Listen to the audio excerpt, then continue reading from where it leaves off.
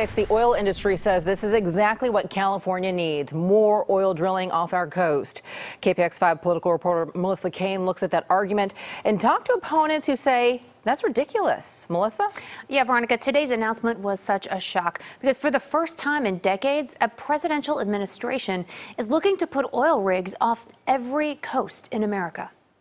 Well, we were expecting the worst, and this was even worse than the worst news possible. I mean, this is a full blown assault on America's coastlines and beaches from sea to shining sea. Athan Manuel is the director of the Lands Protection Program for the Sierra Club. So it's a pretty broad, ambitious attack on every coastline. And Tim Charters is the Senior Director of Government Affairs for the National Ocean Industries Association. It's the plan put forward by the president today is a plan that looks at all of the United States and says let's take a big look at what resources we really have available, where those resources may be, and where we can go forward and develop them.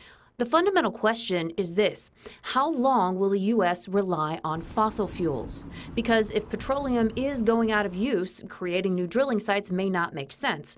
But Charter says that we will be using petroleum for the next several decades. EIA, the, the Energy Information Agency, says that by 2040 we'll still be using 77% of our energy will still come from fossil fuels. And so, you know, quite a ways off into the future, we're still going to be dependent, particularly in the transportation sector, on oil and gas.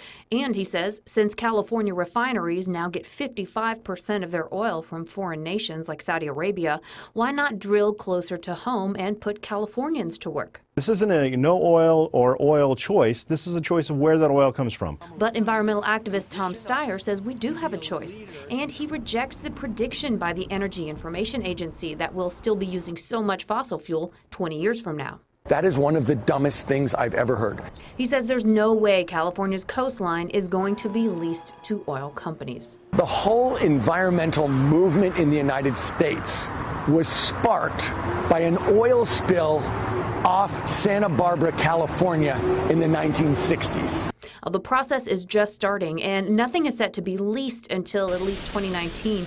In the meantime, Athan Manuel says that the Sierra Club is ready to fight, appealing to Congress and the public and the courts. We're going to look at suing uh, the Department of Interior. We're going to put every challenge we can in front of this plan.